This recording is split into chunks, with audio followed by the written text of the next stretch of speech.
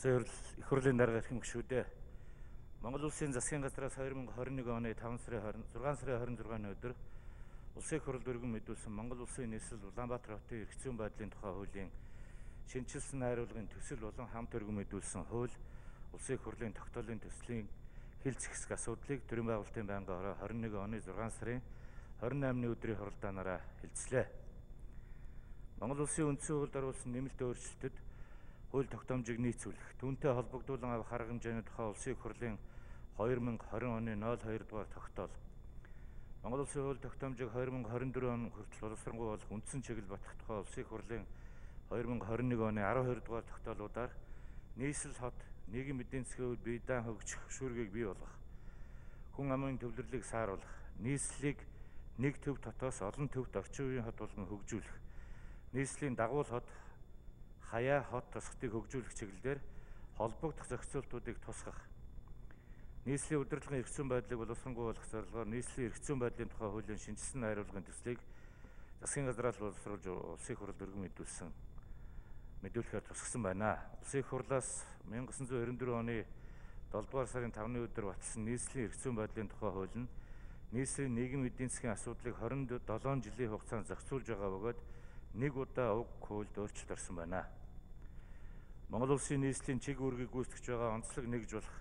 Улаанбаатар хотод үйлчлэх нийт 153 хууль тогтоомж нь өөр хоорондоо уялдаа муутай зарим зохицуултанд давхардсан түнчлэн нийслэл хотын онцлог цаашдын хөгжлийн загвар улс орны хөгжилд гүйцэтгэх үүрэг төрийн бусад байгууллагатай харилцах зэрэг асуудлаар бус орны жишгийг судалж нэвтрүүлэх талаар олон судалгаа практик ажилтнуудын санал зөвлөмж гарсан байна. Иймд Монгол улсын үндсэн хуулинд оруулсан нэмэлт өөрчлөлт болон Монгол улсын засаг захиргааны нутаг дэвсгэрийн нэгж түүний удирдлагын тухай хуульд нийцүүлэх,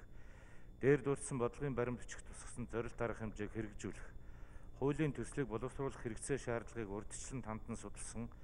судалгааны санал зөвлөмжд үндэслэн нийслэл хот нийгэм эдийн засгийн хувьд бие даан хөгжих хөшүүргийг бий болгох, хүн амын төвлөрлийг сааруулах, нийслэлийг нэг төв дотоос олон төвд орчин үеийн хот болгон хөгжүүлэх, нийслэлийн дагуул хот тосготыг хөгжүүлэх, нийслэлийн удирдлагын эрх зүйн байдлыг боловсронгуй болгох зорилгоор хуулийн төслийн үзэл баримтлалыг тодорхойлж түүнд нийцүүлж Монгол улсын нийслэл Улаанбаатарын эрх зүйн байдлын тухай хуулийн шинжилсэн найруулгын төслийг боловсруулсан байна. Бангийн хорооны хуралдаанаар төслийг хилцгүүд улсын их хурлын гишүүн Баатар Үлэг хуулийн төслийн нэр, нутаг дэвсгэр дамсан дагуул хот байгуулж болох хэсэг, хуулийн төсөлд иргэдийн саналыг авсан хэсэг талаар улсын их хурлын гишүүн Ганбаатар нийслэл дүүргийн чиг үүргийг тодорхойлон тодорхойлсон хэсэг, улсын их хурлын гишүүн Инх болд дагуул хотын хөлийн цэс, иргэний харьяал, нийслэл болон дагуул хотын удирдлагын уялдаа холбоог хэрхэн зохицуулсан талаар улсын их хурлын гишүүн Цэ мөнх цэцэг төсөл тусгагдсан нийслэлийг хөгжүүлэх сангийн хөрөнгийн зарцуулалт хяналт болон хотын асуудлыг шийдвэрлэхэд иргэдийн оролцоог хэрхэн хангах талаар улсын их хурлын гишүүн Гамболд нийслэл болон дагуул хотын удирдлагын чиг үүрэг бүрэн эрхийн талаар улсын хурлын гишүүн Пүрвд орж нийслэлийн өмчийн компаниудын зохицуултын талаар асуулт асууж хариулт авсаа. Мөн улсын хурлын гишүүн Инхболд Пүрвд орж Цэ мөнх цэцэг Баатар үлэг Сүхбаатар оюун чимэг нар хуулийн төслийг дэмжиж байгаагаа илэрхийлсэн болно. Монгол улсын нийслэл Улаанбаатар хотын эрх зүйн байдлын тухай хуулийн шинжилсэн найруулгын төсөл болон хамт өргөн мэдүүлсэн хууль улсын хурлын тогтоолын төслийг үзэл баримтлалын хүрээнд хилцэх асах асуудлыг бангийн хорооны хуралдаанд оролцсон гишүүдийн олонх дэмжиж улсын хурлын чуулганы нэгдсэн хуралдаанаар хилцүүлэх нь зүйтэй гэж үзлээ. Их хурлын эрхэм гишүүдээ Монгол улсын нийслэл Улаанбаатар хотын эрх зүйн байдлын тухай хуулийн шинжилсэн найруулгын төсөл болон хамт өргөн мэдүүлсэн газрын тухай хуульд өөрчлөлт оруулах тухай,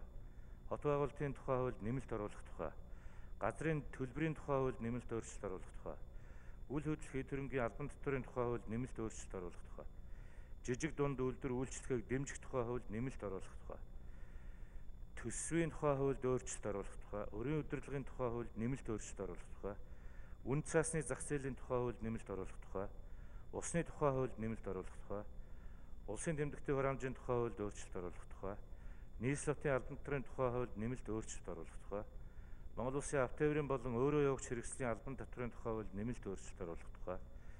түгээмэл тархастай ашигт малтмлын тухай хуульд нэмэлт оруулах тухай, аж ахуйн үйл ажиллагааны тусгай зөвшөөрлийн тухай хуульд нэмэлт оруулах тухай, нийтээр тэмдэглэх баярын болон тэмдэглэл өдрүүдийн тухай хууль өөрчлөлт оруулах тухай, нийслэлийн эрх зүйн байдлын тухай хуулийг хүчингүй болсон тооцох тухай хуулийн төслүүд болон хот байгуулах тухай тогтоолд өөрчлөлт оруулах тухай улсын их хурлын тогтоолын төслийн хилцэх хэсэг талаарх төрийн байгуулалтын байнгын хорооны санал дүгнэлтийг хилцсэн шийдвэр өгөхийг та бүхнээс хүсье. Анхаарал тавьсан баярлалаа.